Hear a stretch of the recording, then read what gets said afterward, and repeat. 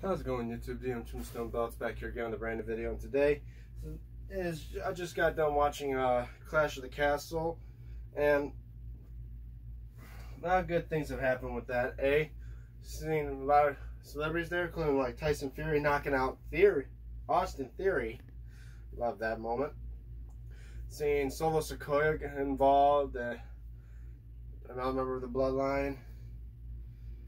And of course, a lot of good other matches. One that was a shocker, seeing Dominik Mysterio turning heel against Edge and of course Rey. A shocker there.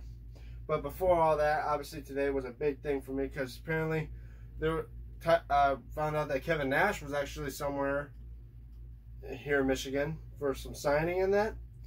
And of course, I got I went there with this with my mock belts winged eagle. If you guys checked up on my uh, social medias, like on Instagram and on Twitter, I posted it there. It's me standing there with a photo of him, and of course, right here, he signed it, Diesel, because he was Daddy Cool Diesel when he held this version of the title.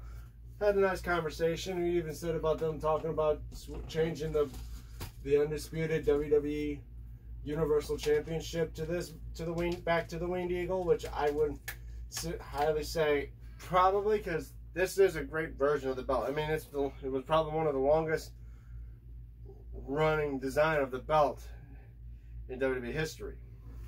I mean, it ran from 88 to 98, and then Big Eagle it was for from 98 to like 2002 which was only about four or five years undisputed was like from 2000 two to 2005, three years.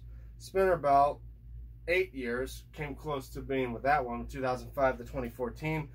Then it was the Biggie, uh, big logo belt. Only one year when they unified it with a big gold belt. Then there was uh, the network logo belt, which is still being used today, from 2015 to 2022 but hopefully they go back to original design. But anyway, that's pretty much just to talk about the fact that I met Kevin Nash, got a photo with him, and had him sign my Winged Eagle belt. So now that was glorious. And plus, two, Clash of the Castle was a great pay-per-view to see it. Obviously, there wasn't much of changing of title reigns.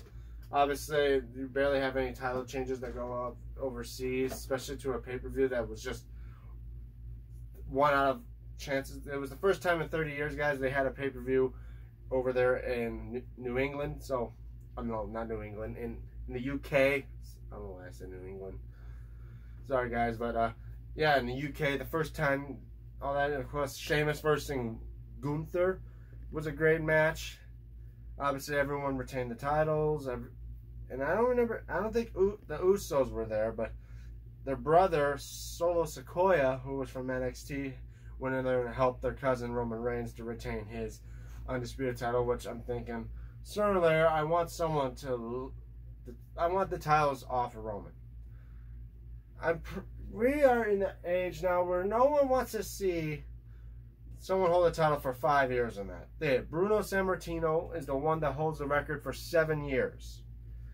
I don't want to see Roman Reigns up there. It's a seven year long reign.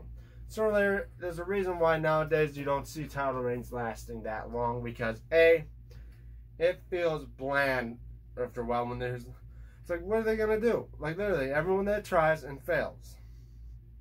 It's pointless. So hopefully soon he'll lose the title. He didn't lose the title yet, but eventually he probably will.